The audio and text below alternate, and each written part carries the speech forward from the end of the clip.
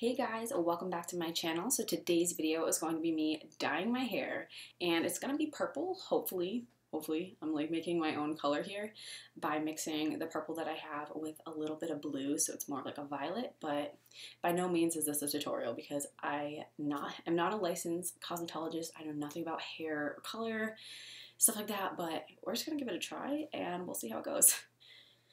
Alright guys, so the shades that I'm going to be using today is the Arctic Fox Purple Rain. Ooh, ooh, ooh, oh.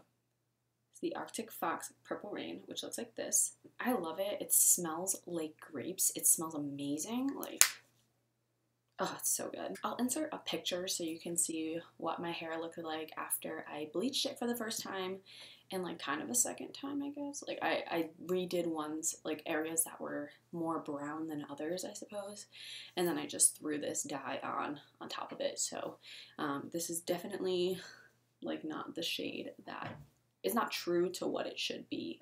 I'm going to be combining this Arctic Fox Purple Rain with this Color Brilliance Ion Sky Blue. Is that my permanent hair color? So I'm just gonna start mixing it and I'll show you guys like on a paper towel what it looks like. I'm not gonna bother recording me putting it in my hair or anything because that's really boring and I hate watching people do that on YouTube. So here we go. Alright guys, this is just to show you what it looks like on a paper towel. Um, I use this just to kind of see what the tone would look like um, and how it would look once I put on my hair, like kind of what it would look like.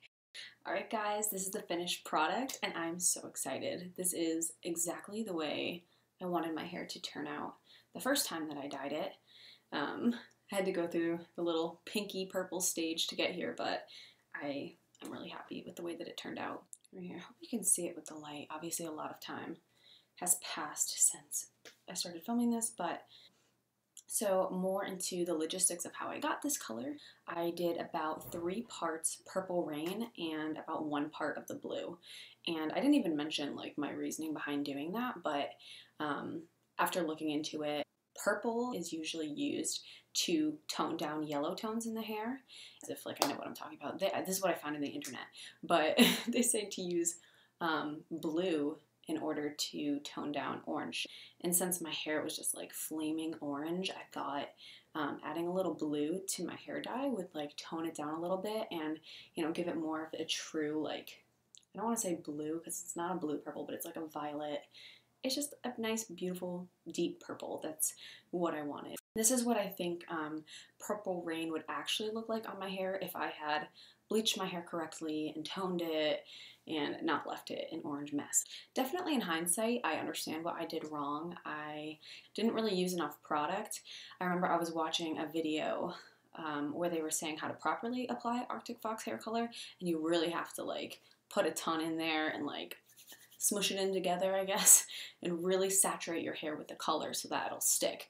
And I definitely really didn't do that the first time, so that's why the color payoff is just so much better this time. It's so much more even, and I'm so, so happy with it. So yeah, this is what my hair looks like. I hope you guys enjoyed this video, and I'll see you next time. Bye!